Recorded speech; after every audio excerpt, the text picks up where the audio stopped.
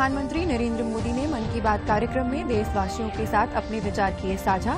भारतीय संस्कृति के संरक्षण और संवर्धन के साथ ही स्वच्छता और वेस्ट टू बेस्ट के क्षेत्र में रोल मॉडल बनने का दिया संदेश। औषधि गुणवत्ता, विनियमन और प्रवर्तन पर दो दिवसीय चिंतन शिविर आज से तेलंगाना में हो रहा है शुरू। केंद्रीय स्वास्थ्य मंत्री मनसुख मांडविया कर रहे हैं शिविर की अध्यक्षता।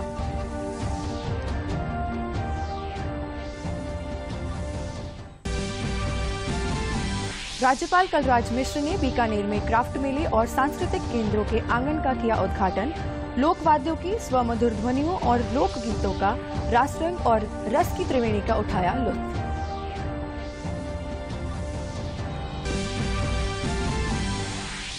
जयपुर के सांगानेर में छह दशमलव तिरानवे करोड़ रुपए की लागत से बनेगा नया राजकीय कन्या महाविद्यालय।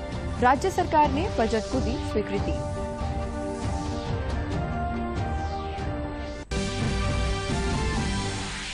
प्रदेश के 11 जिलों में तृतीय श्रेणी शिक्षक भर्ती परीक्षा जारी। पहले दिन कल पेपर लीक को लेकर दिन भर चली अफवाह। पुलिस ने जोधपुर में दलाल गिरोह को पकड़ा। जयपुर सहित राज्यों के अन्य स्थानों पर भी हुई संदिग्धों की गिरफ्तारी।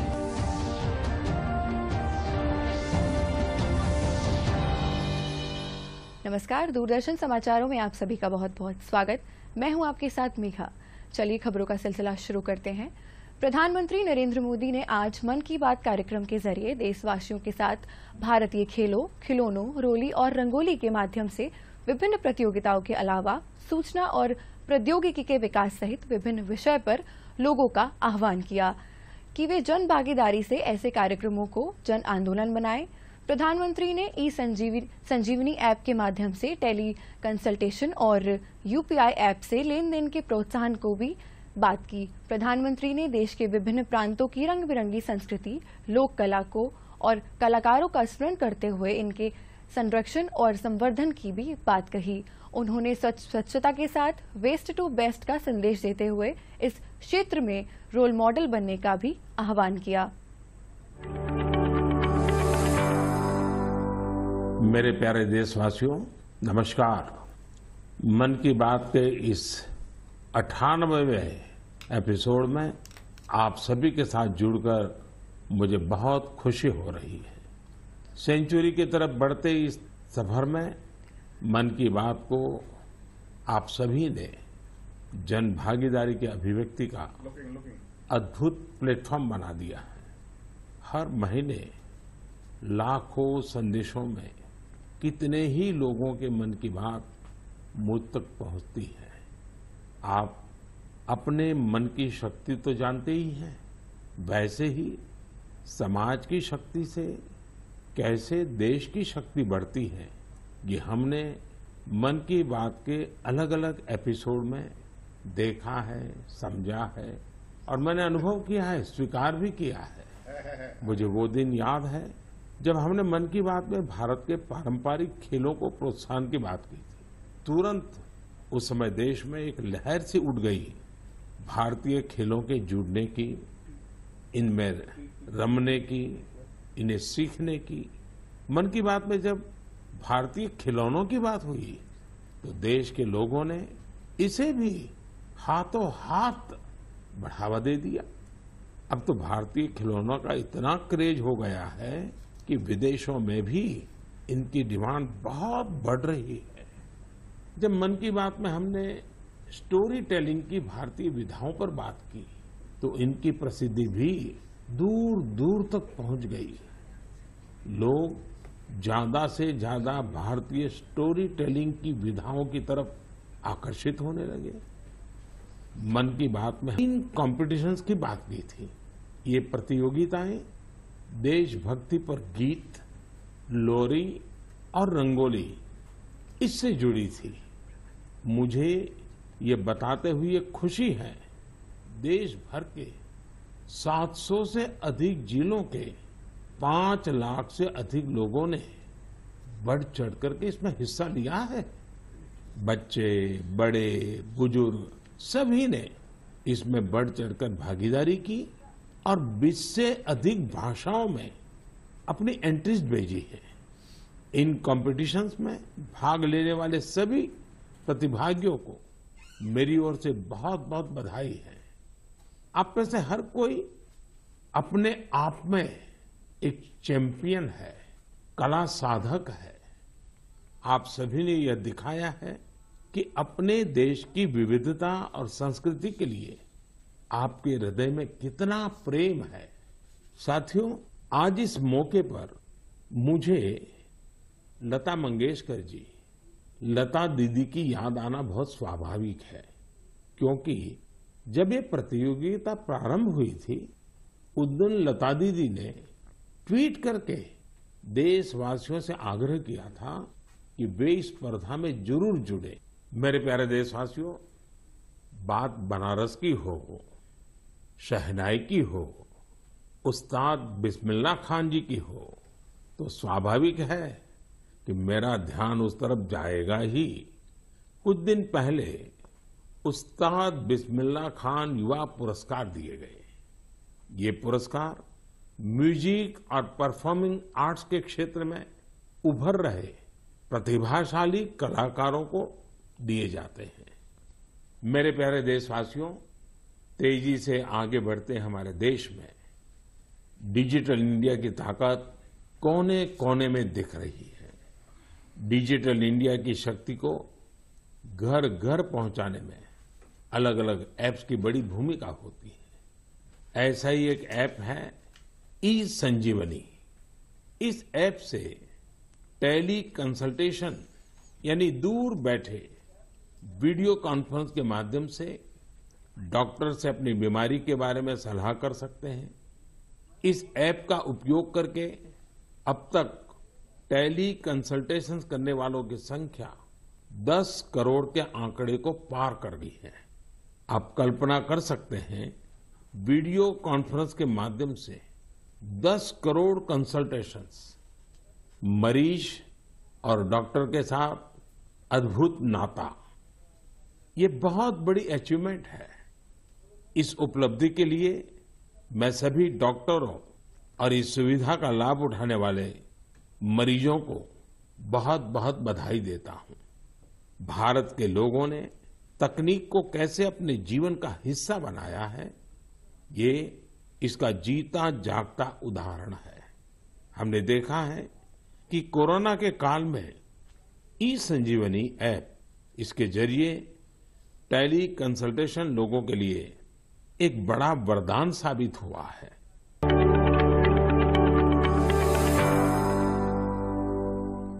केंद्रीय स्वास्थ्य मंत्री मनसुख मांडविया की अध्यक्षता में आज तेलंगाना में औषधि गुणवत्ता, विनियमन और प्रवर्तन पर दो दिवसीय चिंतन शिविर की शुरुआत हो रही है। केंद्रीय सूचना एवं प्रसारण मंत्री अनुराग सिंह ठाकुर भी चिंतन शिविर में शिरकत करेंगे। हैदराबाद में आयोजित दवा, गुणवत्ता विनियमन और प्रवर्तन विषय पर दो दिवसीय चिंतन शिविर में आज सुबह योग सत्र का आयोजन किया गया। शिविर में शामिल प्रतिभागियों ने पूरे उत्साह के साथ योग सत्र में हिस्सा लिया। केंद्रीय स्वास्थ्य मंत्री डॉक्टर मनसुख मांडविया आज इस चिंतन शिविर की अध्यक्षता करेंगे। सूचना और प्रसारण मंत्री अनुराग सिंह ठाकुर भी चिंतन शिविर में शामिल होंगे। उद्योग मंचों, स्टार्टअप्स और शिक्षाविदों के डोमेन विशेषज्ञों के साथ साथ प्रतिष्ठित वक्ता इसमें भाग लेंगे। दो दिवसीय चिंतन शिविर का उद्देश्य देश में दवाओं की गुणवत्ता और प्रवर्तन से संबंधित नीतियों और कार्यक्रमों की प्रक्रियाओं और क्रियान्वयन की समीक्षा करना है। चिंतन शिविर में पाँच सत्रों का आयोजन किया जाएगा, जिसमें घरेलू और निर्यात बाजारों से दवाओं और सौंदर्य प्रसाधनों और चिकित्सा उपकरणों की गुणवत्ता में विश्वास, भारतीय फार्माकोपिया और इसके मानकों का पालन और राष्ट्रीय नियामकों की क्षमता निर्माण शामिल है। इसके साथ ही चिंतन राज्यपाल कलराज मिश्र ने कल बीकानेर में राष्ट्रीय सांस्कृतिक महोत्सव के तहत आयोजित क्राफ्ट मेले का उद्घाटन किया। इस अवसर पर उन्होंने केंद्रीय संस्कृति मंत्रालय के अधीन कार्यरत सांस्कृतिक केंद्रों के आँगन का भी दीप प्रज्वलित कर उद्घाटन किया। कार्यक्रम में उन्होंने लोक वाद्यों की स्वमधुर ध्वनियों और लोक गीतों की रास रंग और रस की त्रिवेणी का लुत्फ उठाया। कार्यक्रम में केंद्रीय राज्य मंत्री अर्जुन राम मेघवाल सहित अन्य जनप्रतिनिधियों और गणमान्य लोगों ने भी शिरकत की। राष्ट्रीय संस्कृति महोत्सव एक भारत श्रेष्ठ भारत बनाने में अपना योगदान दें। इसके लिए ये सारे कार्यक्रम 2015 से हो रहे हैं पूरे देश में।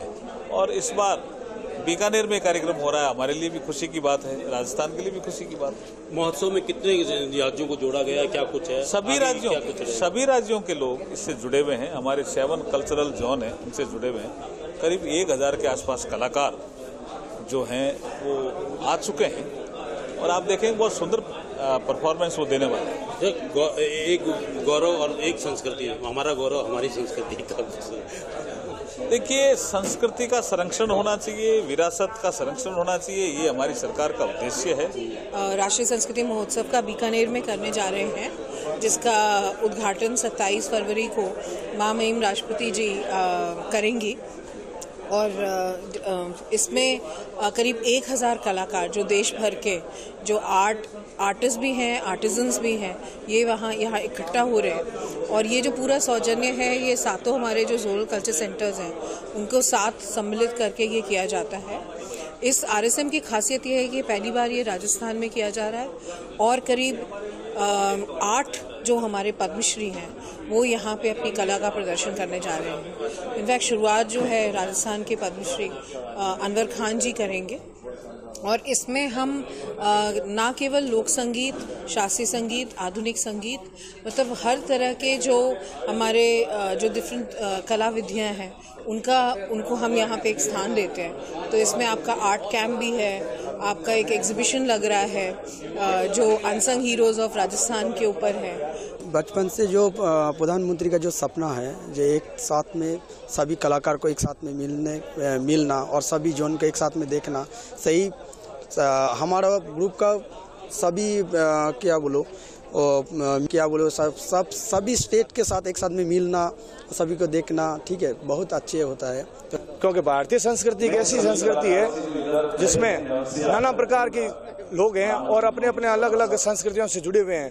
और आज बीकानेर में सारी भारत की संस्कृति यहाँ आई है तो हम गौरवान्वित महसूस करते बीकानेर की निवासी और गौरवान्वित महसूस करते हैं। और हम लोग यहाँ राजस्थान में प्रोग्राम करने के लिए आया हूँ और यह प्रधानमंत्री का जो एक सब, एक श्रेष्ठ भारत, वो एक साथ में हम लोग प्रोग्राम कर रहे हैं और प्रधानमंत्री जो सपना है, हम लोग वो पूरा करेंगे।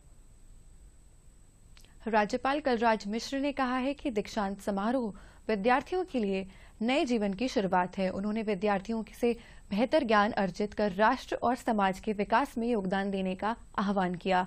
राज्यपाल बीकानेर में स्वामी केशवानंद राजस्थान कृषि विश्वविद्यालय के दीक्षांत समारोह को संबोधित कर रहे थे। राज्यपाल ने कहा कि किसानों तक नवीनतम कृषि अनुसंधान और कृषि प्रौद्योगिकी का लाभ पहुँचे, इसके लिए विश्वविद्यालय और और प्रयास करने होंगे। समारोह में एक हज़ार सात सौ तिरानवे विद्यार्थियों को उपाधियाँ प्रदान की गईं। राज्य सरकार ने प्रदेश में 36 कन्या महाविश्व महाविद्यालय खोलने की घोषणाओं को पूरा करने में क्रम में जयपुर के सांगानेर में राजकीय कन्या महाविद्यालय भवन के निर्माण के लिए दो दशमलव तैतालीस करोड़ रुपए अतिरिक्त बजट के प्रावधान को मंजूरी दी। इस राशि सहित महाविद्यालय का निर्माण अब कुल छह दशमलव तिरानवे करोड़ रुपए की लागत से होगा। यह महाविद्यालय सांगानेर क्षेत्र के टोंक रोड स्थित बांबला पुलिया के पास बनेगा। सरकार ने दौसा ज़िले के लालसोट स्थित समेल गाँव में मोरेल नदी पर बाईस दशमलव अस्सी करोड़ रुपए की लागत से बनने वाले एनीकट के लिए भी वित्तीय स्वीकृति प्रदान की है। मोटे अनाज के उत्पादन को बढ़ावा देने और इसकी फ़सलों की पैदावार बेहतर करने के लिए उद्देश्य से बूंदी में कृषि विज्ञान केंद्र द्वारा मोटा अनाज प्रसंस्करण प्रशिक्षण का आयोजन किया गया। प्रशिक्षण में महिला स्वयं सहायता समूह और आंगनबाड़ी कार्यकर्ताओं ने भी कार्यकर्ताओं को भी सम्मिलित किया गया। भारत सरकार द्वारा वर्ष 2023 को अंतर्राष्ट्रीय मिलेट वर्ष के रूप में मनाए जाने के क्रम में आयोजित इस प्रशिक्षण में प्रशिक्षणार्थियों को मोटे अनाज से बनने वाले उत्पाद जैसे केक बिस्किट मटरी आदि के निर्माण का तो मोटा प्रशिक्षण अनाज भी की दिया गया। उपयोगिता बढ़ाने के लिए उत्पादन बढ़ाने के लिए कंजप्शन बढ़ाने के लिए ये सारा वर्ष हम कहीं ना कहीं प्रोग्राम करते रहेंगे।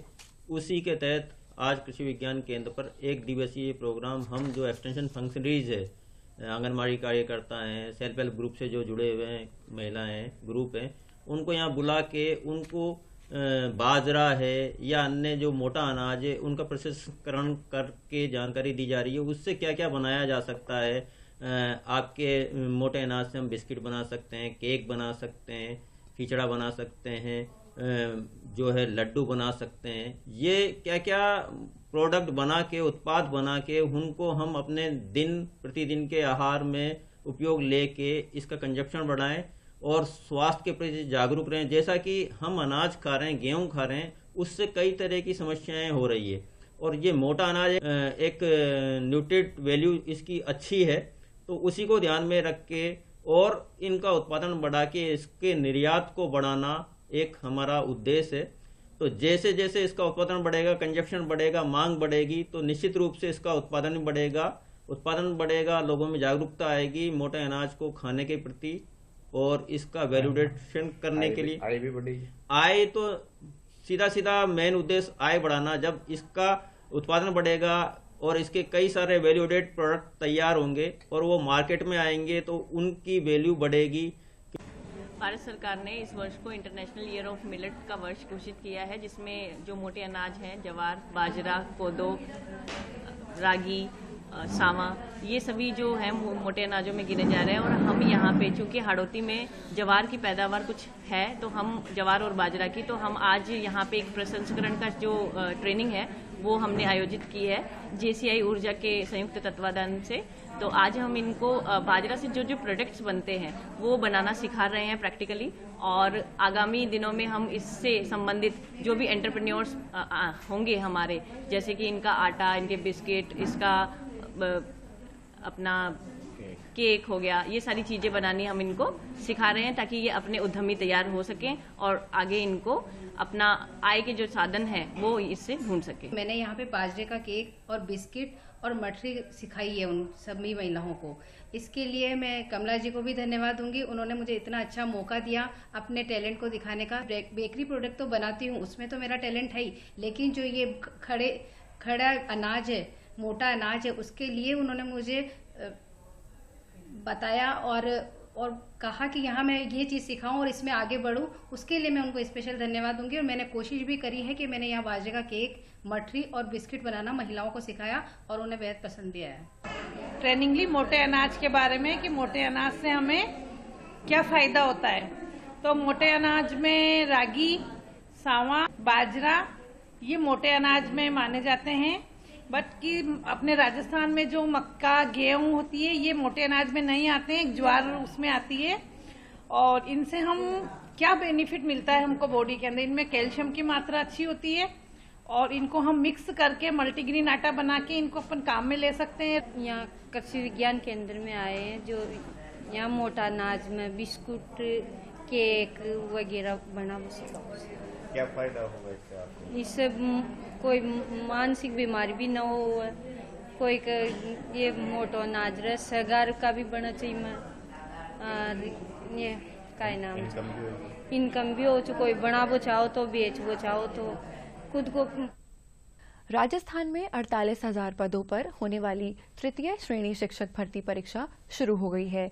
एक मार्च तक चलने वाली यह परीक्षा दो पारियों में आयोजित कराई जा रही है। इस बार शिक्षक भर्ती परीक्षा ग्यारह जिलों में आयोजित की जा रही है। लेवल फ़र्स्ट में इक्कीस हज़ार पदों पर और लेवल टू में सत्ताईस हज़ार पदों पर भर्ती होनी है। परीक्षा की सुरक्षा व्यवस्था को लेकर कड़े इंतज़ाम किए गए हैं। साथ ही विद्यार्थियों के लिए रोडवेज़ बसों का भी व्यवस्था की गई है। ज़्यादा डिफ़िकल्ट था मॉडरेट था। क्वेश्चंस हो रहे थे, ऐसा भी नहीं है कि क्वेश्चंस नहीं हो रहे थे बट ठीक था मॉडरेट था। पेपर इजी था ठीक पेपर था। इजी टू मॉडरेट था ज़्यादा लेवल नहीं था। साइकोलॉजी सब सब इजी था सब इजी था। शिक्षण विधि थोड़ी एवरेज थी बाकी सब इजी था। पेपर जिस हिसाब से तैयारी करके आया उस हिसाब का नहीं था। बहुत इजी पेपर था। मतलब बोल सकते हैं ना कि जो बच्चा मतलब ये सोच के एग्ज़ाम दिया कि अपने को कंट्रोल किया खुद पे वही बच्चा पास होगा। बाकी ऐसे पेपर बहुत ऐसा लग रहा है ईजी है पर ईजी है नहीं ये पेपर पेपर ईजी था ज़्यादा ईजी टू मॉडरेट था। राजस्थान से रिलेटेड चीज़ें ज़्यादा थी और बाकी सब ठीक था। साइकोलॉजी काफ़ी आसान थी। बेसिकली राजस्थान का जीएस और हम यूपी के हैं ना तो बाहर के लोगों के लिए यूपी के लोगों के लिए राजस्थान का जीएस और जीके थोड़ा सा हार्ड पड़ा। बाकी सब तो इजी लगा ऐसा कुछ खास नहीं था। तृतीय श्रेणी शिक्षक भर्ती परीक्षा के बीच जोधपुर में पुलिस ने एक दलाल गिरोह को पकड़ा है। पुलिस गिरोह से पूछताछ कर रही है। वहीं पुलिस ने तृतीय श्रेणी भर्ती परीक्षा के पेपर लीक होने के मामले को सिरे से खारिज कर दिया है। मामले में पुलिस ने जयपुर, बीकानेर, भरतपुर सहित अन्य स्थानों से कई संदिग्धों को भी हिरासत में लिया है।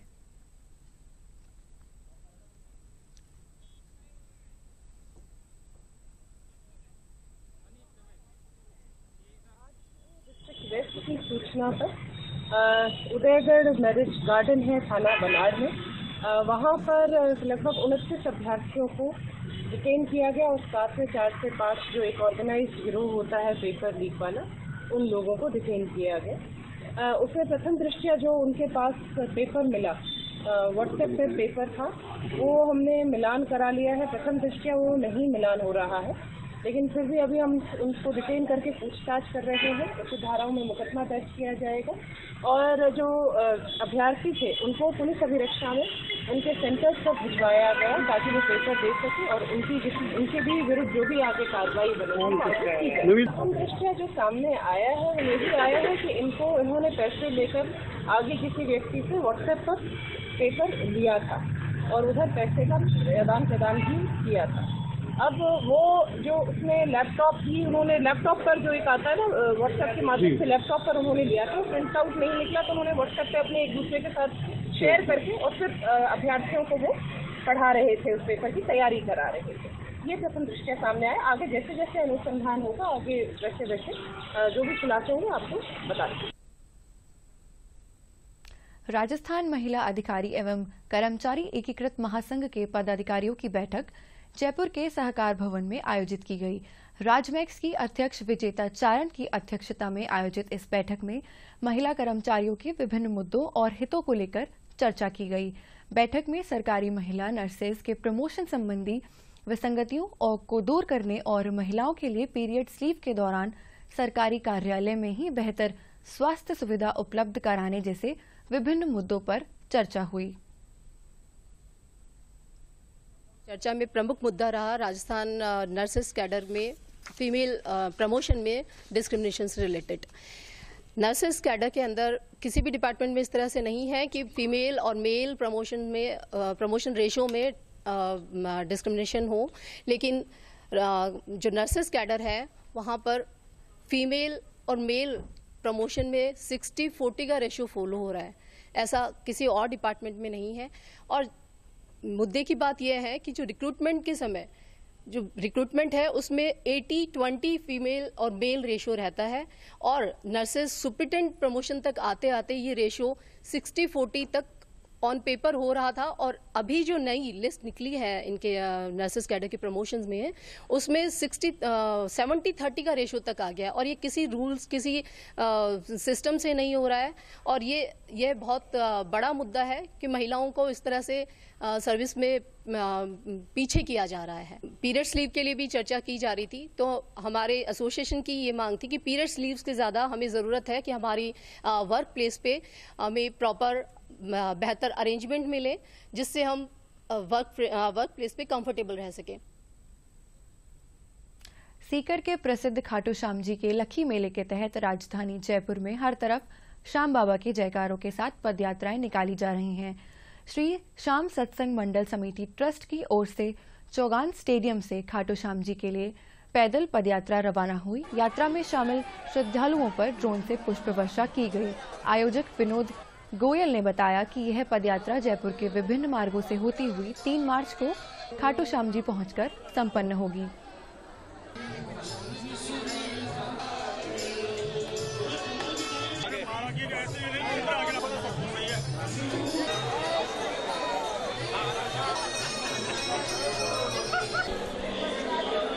मंडल समिति ट्रस्ट चौगान स्टेडियम की ये सत्तावनवीं पदयात्रा प्रारंभ हो रही है।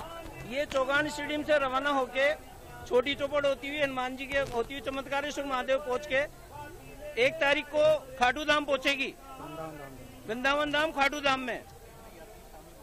इसमें 700-800 पदयात्री शामिल होते हैं। उनके साथ उनके रिश्तेदार वगैरह सभी चलते हैं तो हज़ार पंद्रह सौ सभी शामिल रहते हैं। प्रति वर्ष जो है पैदल शोभा यात्रा जो है निकलती है और खाटू धाम पहुँचती है। ये सत्तावनवीं पद यात्रा है। बड़े ज़ोर शोर से भक्त लोग जो है साल भर इस पद यात्रा का इंतज़ार करते हैं और बाबा की जय जयकार करते हुए आनंद से जो है खाटू धाम पहुँचते हैं। सबसे बड़ी बात यह है कि जयपुर की ये बहुत पुरानी संस्था और बहुत पुराने जो है, इसमें कार्यकर्ता हैं, वो बड़े ज़ोर शोर से कार्य करते रहते हैं। जैसे अपने घर में परिवार में ब्याह बनता है और जैसे निकासी निकाली जाती है, उस तरीके का उत्साह है सब में। और सब इतना ज़्यादा उत्साह है कि मैं अपने शब्द नहीं है मेरे पास बोलने की। सब श्याम बाबा की कृपा है, गिरिराज धरन की कृपा है। और अंत में मुख्य समाचार एक बार फिर। प्रधानमंत्री नरेंद्र मोदी ने मन की बात कार्यक्रम में देशवासियों के साथ अपने विचार किए साझा। भारतीय संस्कृति के संरक्षण और संवर्धन के साथ ही स्वच्छता को वेस्ट टू बेस्ट के क्षेत्र में रोल मॉडल बनाने का दिया संदेश। औषधि गुणवत्ता विनियमन और प्रवर्तन पर दो दिवसीय चिंतन शिविर आज तेलंगाना में हो रहा है। शुरू। केंद्रीय स्वास्थ्य मंत्री मनसुख मांडविया कर रहे हैं शिविर की अध्यक्षता।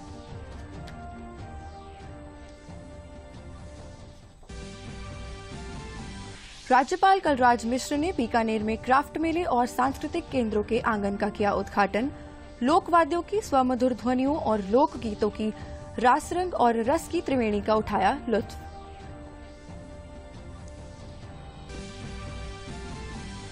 जयपुर के सांगानेर में छह दशमलव तिरानवे करोड़ रुपए की लागत से बनेगा नया राजकीय कन्या महाविद्यालय। राज्य सरकार ने बजट को दी स्वीकृति।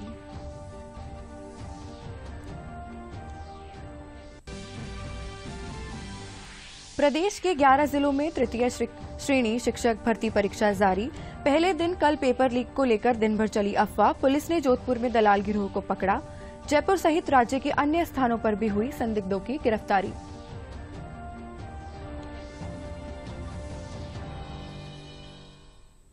आज के लिए इस बुलेटिन में फ़िलहाल इतना ही। नमस्कार।